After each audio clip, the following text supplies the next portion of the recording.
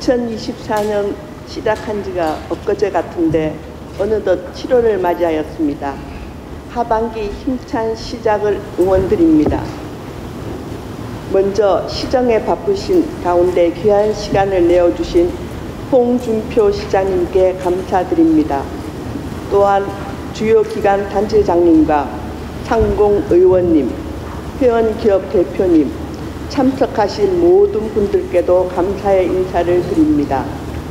최근 OECD의 국내 경제연구소들은 반도체, IT 등의 수출 호전으로 성장률을 상향하는 등 경제 회복을 전망하고 있습니다. 하지만 피부로 느끼는 실물 경제는 고물가, 고금리 추세와 내수 위축, 부동산 경기 침체로 여전히 많이 어려운 상황입니다. 대외적으로는 미국 연준의 금리 인하 지연으로 원 달러와 엔 달러 환율의 변동성이 크게 확대되고 있습니다. 우크라이나와 중동의 지정학적 리스크, 미 대선과 미국 경제의 불투명성도 하반기 경제의 중요 변수로 작용할 전망입니다. 우리 대구는 여러 어려움 속에서도 시장님을 중심으로 신공항 건설과 대구 경북 통합에 전력을 기울이고 있습니다. 하늘길이 활짝 열리고 로봇을 비롯한 5대 신산업이 꽃을 피워 대구 경북이 다시 우뚝 솟아나길 간절히 희망합니다. 오늘 경제 동향 보고회는 지역 경제를 이끌어 가시는 분들이 한자리에 모여 경제 동향을 살펴보고 기업들이 겪고 있는 애로를 듣고자 자리를 마련하였습니다. 기업 지원 기관 단체장님들께서는 규제와 애로 해결에 적극 힘써 주실 것을 부탁드립니다. 끝으로 참석하신 기관 단체장님, 상공 의원님, 회원 기업 대표님께 다시 한번 감사의 말씀을 드리며 모든 분들의 건승을 기원드립니다. 감사합니다.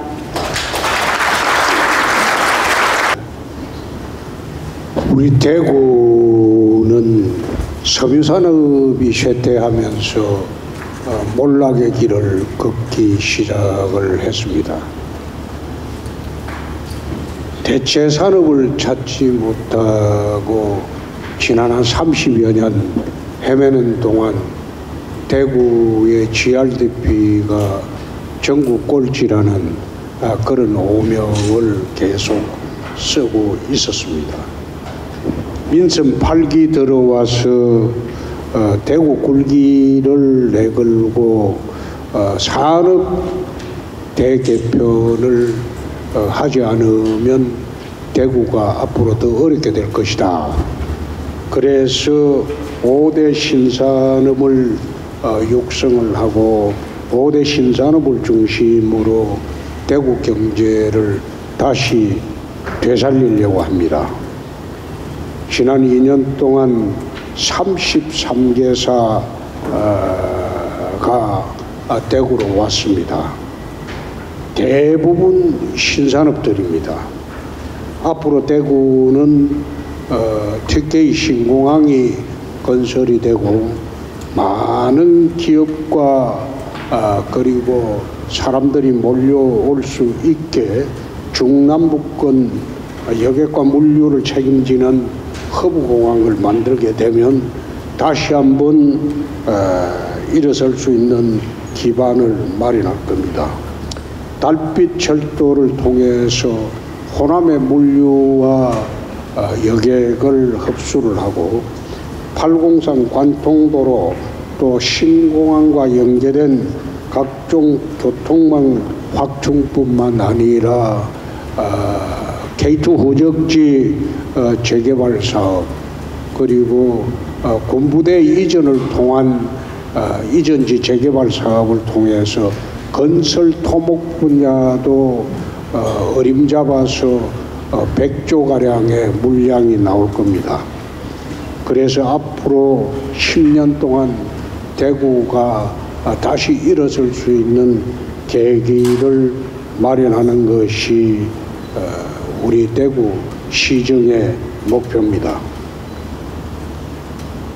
지난 2년 동안 어, 대구시는 전 공무원이 합심을 해서 대구 혁신 어, 100 플러스 1을 어, 지금 어, 완성한 것도 있고 추진하는 것도 있고 그리고 정부와 합의한 것이 대부분입니다. 그래서 어, 앞으로 어, 2년 동안 남은 임기 동안 대구 혁신 사업이 어, 완성이 될 수 있도록 대구시 전 공무원들은 어, 배전의 노력을 다할 겁니다.